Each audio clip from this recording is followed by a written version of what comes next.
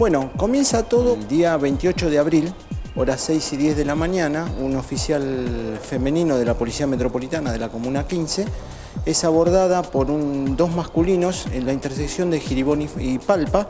Este, estos dos masculinos son apoyados por un tercer masculino que venía conduciendo un Volkswagen Vento en la intersección de dichas arterias. Eh, la oficial femenino es abordada, eh, golpeada mediante trompadas y puntapiés y le sustraen su arma reglamentaria y el velcro del chaleco antibala. Una vez consumado el hecho, dos delincuentes eh, le gatillan la pistola en la cabeza. gracias a Dios no salen los disparos porque el arma estaba con su seguro colocado.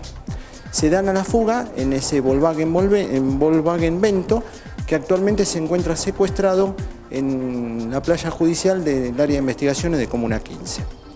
Una vez consumado el hecho, este, comienza una persecución en donde es detenido el conductor de ese vehículo, eh, quien resulta ser el jugador de fútbol de Huracán, de la primera de Huracán.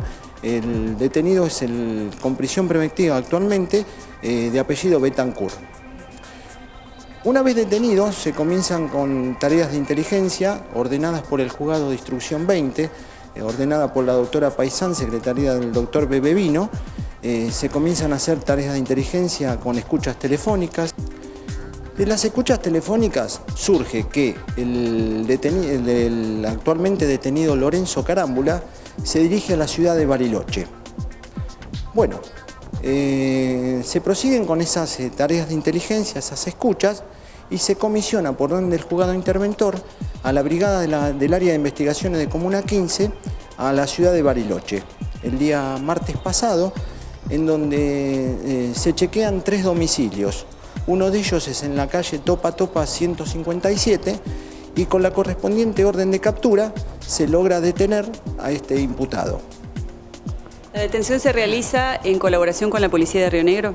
La detención la produce personal del área de investigaciones y son alertados la Comisaría Segunda de la Policía de Bariloche, que con total colaboración traslada a este detenido a la alcaldía de esa dependencia. Bueno, en principio es el jugador del Club Atlético, Huracán, este, de apellido Betancourt este, y apellido compuesto se llama Oviedo Betancourt que conducía el Volkswagen Vento. Y por último, el detenido que se lo trasladó de la ciudad de Bariloche, Lorenzo Carámbula. Para lograr estas detenciones, ¿qué tareas hizo la Policía Metropolitana?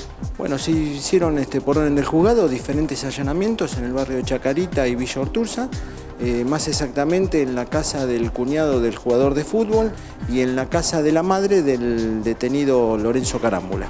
Bueno, durante estos allanamientos se realizaron diferentes diligencias con el fin de ubicar este, las armas, el arma sustraída eh, y los mismos dieron resultado positivo porque se secuestraron elementos como por ejemplo televisores eh, que están este, relacionados con otros hechos eh, que estos habían perpetrado estos delincuentes en otras causas.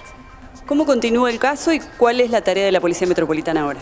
Bueno, este, las, tareas de la Policía Metropolitana se siguen este, haciéndose escuchas telefónicas y con tareas de inteligencia ordenada por el magistrado actuante, a fin de poder lograr este, ubicar y realizar el secuestro del arma reglamentaria sustraída al oficial femenino.